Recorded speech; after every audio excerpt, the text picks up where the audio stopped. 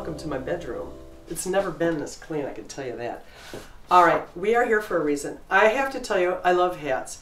And I had absolutely despaired of buying a hat again. I mean, several years of dry spell, nothing but beach hats and really stupid newsboy caps anywhere I looked. And I really thought I was never going to find a hat again.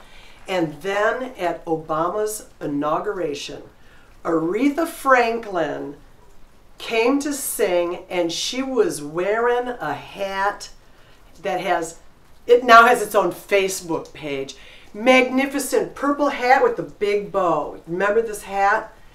She had the same problem I did. She went to Belgium and Paris and invited hat makers to send her the right hat for this fabulous occasion.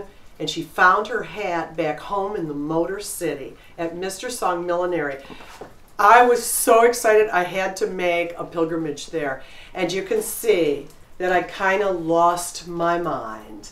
And this is just the summer collection. I believe I walked out of there with something like six hats. And I know you're going to want to see them. Let's start with the iconic Jean Cars cursor. You know, you go on the website, and you see this little hat.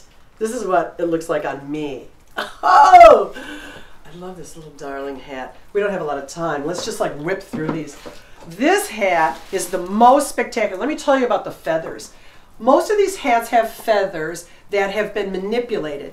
The stem has been shaved. These ones, the stem has been shaved. The feather has been groomed.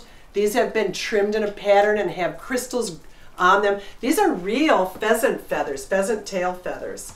You can't buy them from people who hunt. You have to get them from an official source that protects the birds. Look at this hat. I bought this for a wedding in the French Quarter in New Orleans, and I was in a second line, you know, the guys with the umbrellas and stuff, and everyone was coming off the sidewalk to touch my hat. Why do you want to touch it? Okay, this hat is, you have to be careful when you wear it in a crowd because it goes in the shrimp sauce, in the beer, in that guy's eyeball, and when I eat, I have this move.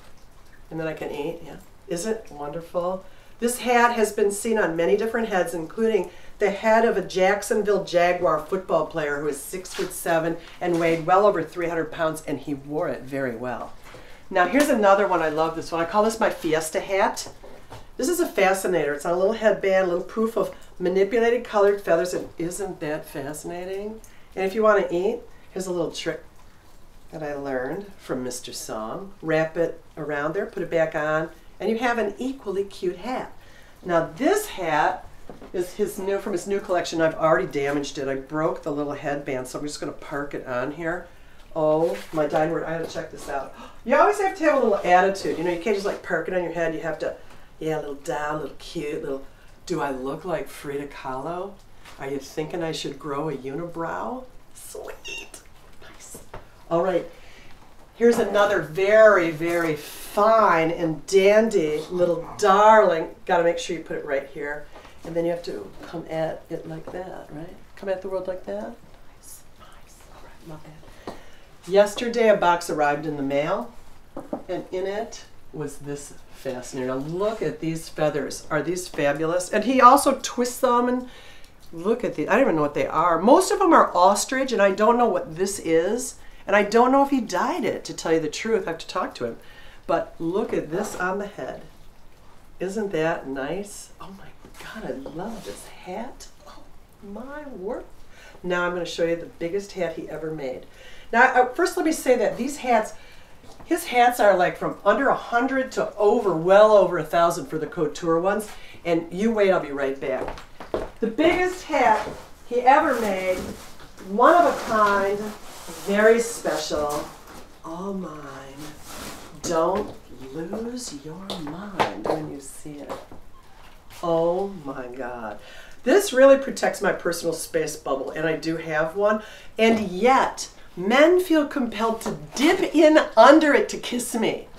This is this nice? I shut down a casino in Detroit, walking through it to a restaurant. I felt like a Mardi Gras float. I felt like a whole Mardi Gras parade, actually. Is it beautiful?